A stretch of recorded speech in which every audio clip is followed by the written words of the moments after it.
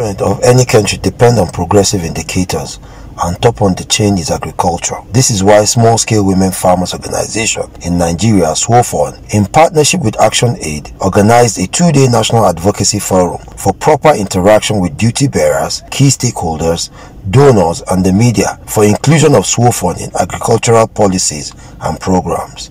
During her communique, the national president of SWOFON, Ms. Mary Afan, gave account of progress from all 36 states of the Federation, including the FCT, while commending Action Aid especially for helping Nigeria simplify the national gender policy in agriculture for smallholder women farmers. SWOFON asked for inclusion during capacity building by farmers, state ministries of agriculture, financial institutions, and development partners as captured in the policy.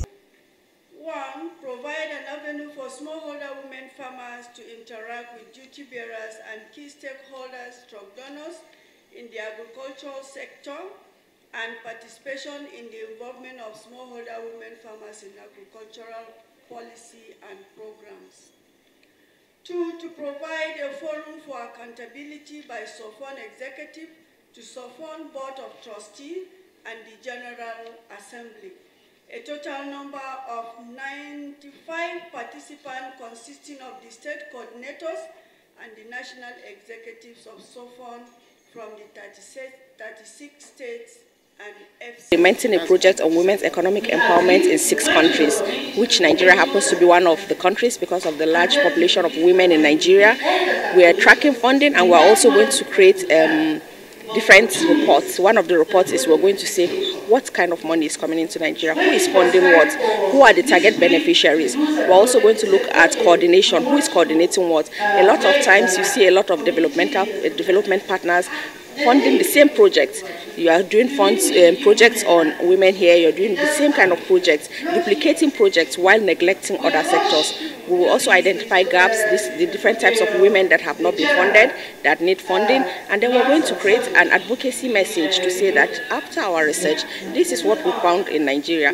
These categories of women have been funded. These categories of women are being neglected. There is too much, there's lack of coordination amongst different implementing agencies.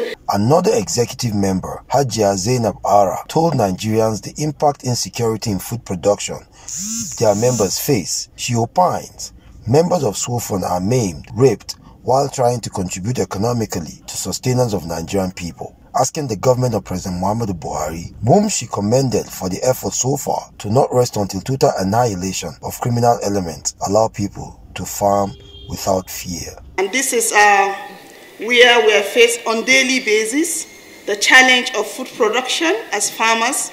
You know, we have abandoned a lot of farm just because we are afraid of rape, we are afraid of being kidnapped, we are afraid of being killed. In fact, of recent, most of the farm produce were even burnt down and silos.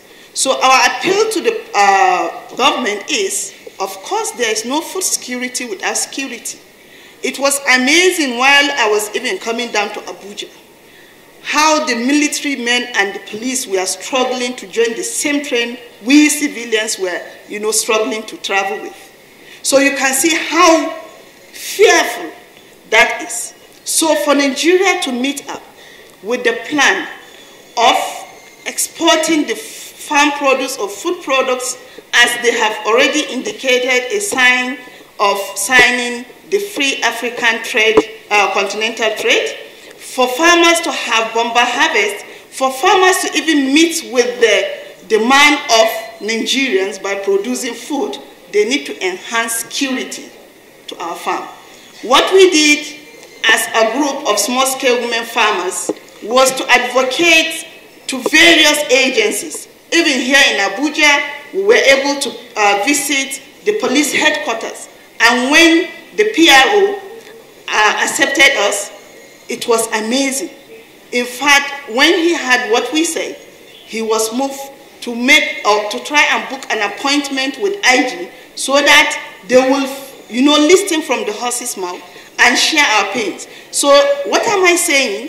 Governments need to do more to protect the lives of uh, farmers, most especially women. We are left with the challenges of food production because most of the men on daily basis have been killed. most of the youth that are even supporting as farming population have been killed. So we are, no, we are left with no option.